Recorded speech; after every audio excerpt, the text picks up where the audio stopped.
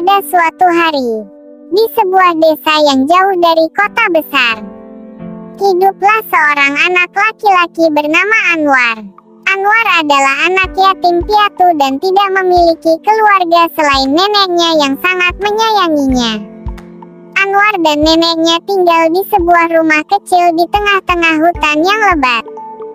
Suatu hari, ketika Anwar sedang berjalan-jalan di hutan, dia menemukan sebuah pohon ajaib yang tidak seperti pohon lain yang pernah ia lihat.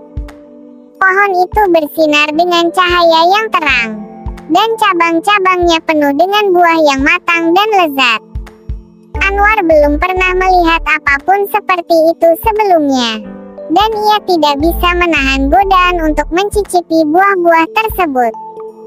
Segera setelah Anwar memetik satu buah dari pohon itu, Suara nyaring terdengar.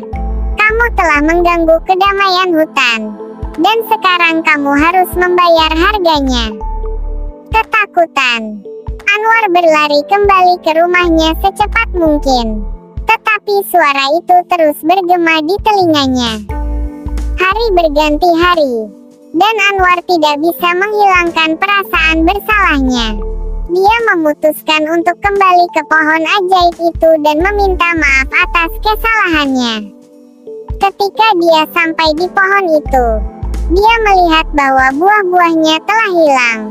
Dan di tempat mereka, ada sebuah bibit kecil. Anwar menyadari bahwa pohon itu telah memaafkannya dan memberinya kesempatan untuk memperbaiki kesalahannya. Sejak hari itu, Anwar menjadi penjaga bibit tersebut, dan ia menyiram dan merawatnya setiap hari.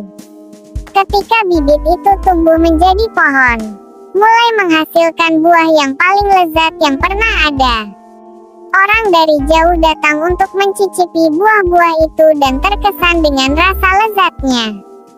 Anwar menjadi terkenal di desa karena menjadi penjaga pohon ajaib itu dan dia hidup bahagia bersama neneknya dengan menghasilkan buah-buah yang sangat lezat bagi orang-orang di sekitarnya.